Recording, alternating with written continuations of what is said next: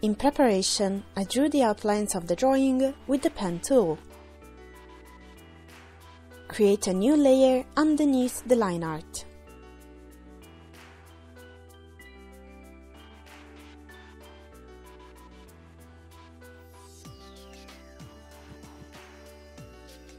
I choose the Running Color Edge watercolor brush from the watercolor tools and use a big brush size to fill the background with a light blue color.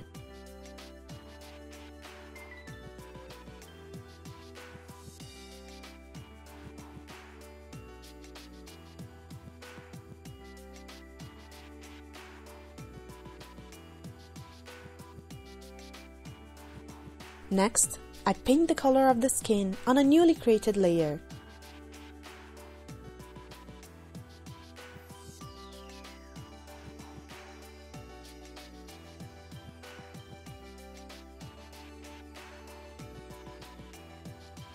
It's always good to make use of the zoom function in the navigator palette to focus on the part you want to fill.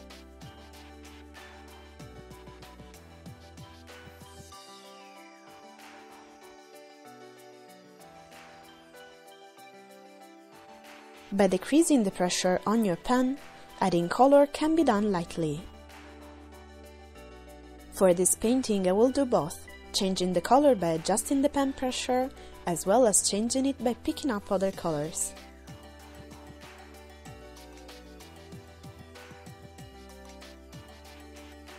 Since there is a lot of transparency left in the image, picking up the color from a layer with the eyedropper can't be done. However, by switching the tool to Pick up color from layer, the originally painted color can be chosen easily.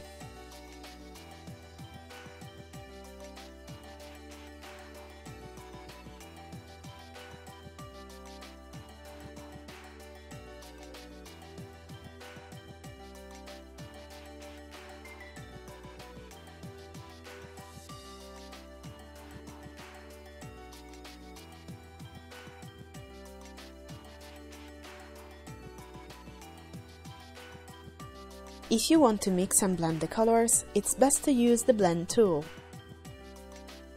While blending, the colors you are mixing will become increasingly blurred.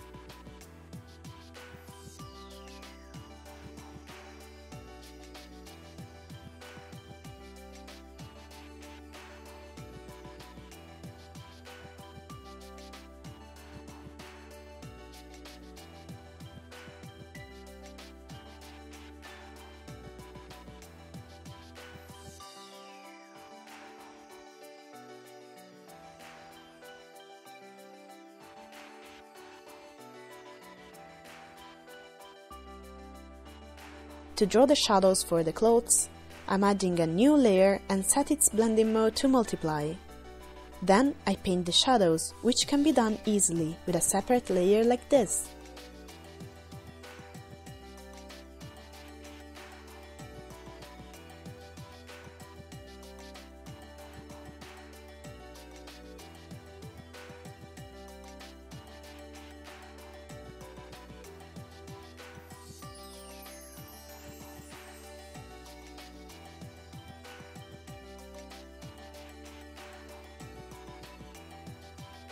One way to add color that does not overflow the intended area is to create a selection with the selection tool and paint inside of it.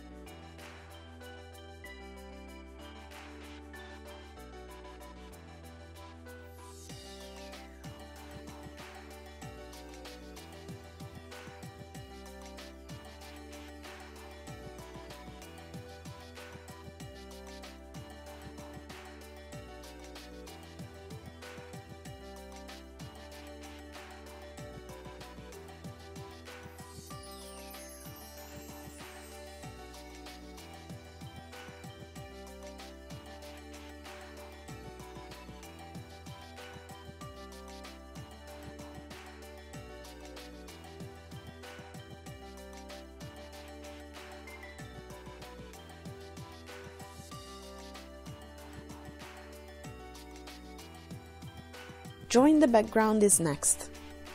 I create a new layer and move it all the way down, underneath the color layers. I select a blue to paint the sky and leave the parts for the clouds white.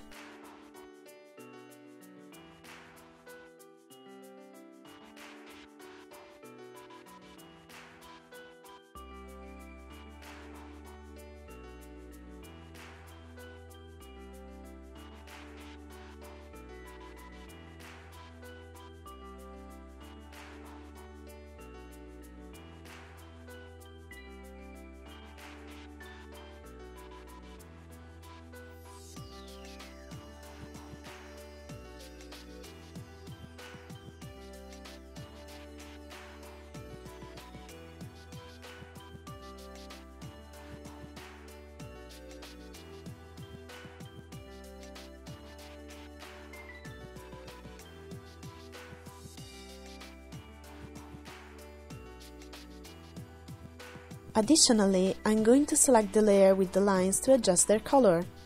To do that, I click the respective layer in the layer palette and click on the icon for Lock Transparent Pixels.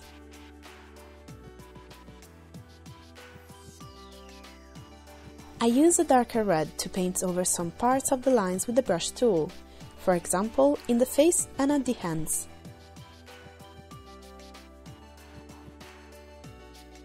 Textures can also be easily applied to the whole illustration if necessary. I open the material palette and choose an image material out of the monochromatic patterns and the texture category to place on top of the illustration and apply as a texture.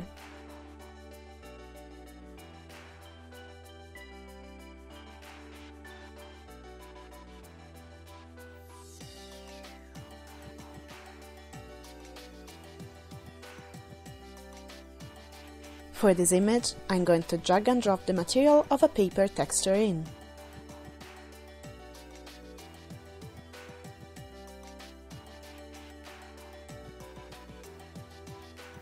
After using the texture combine function and lowering the strength of the texture, I also lower the opacity in the layer palette to give the whole image a paper-like texture.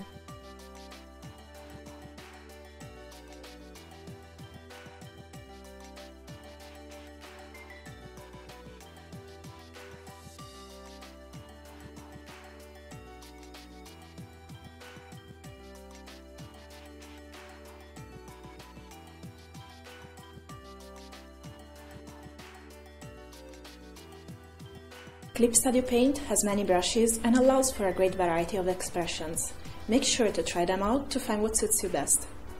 Also, there are more videos where I introduce manga drawing in monochrome and color and some useful features for that. Check them out.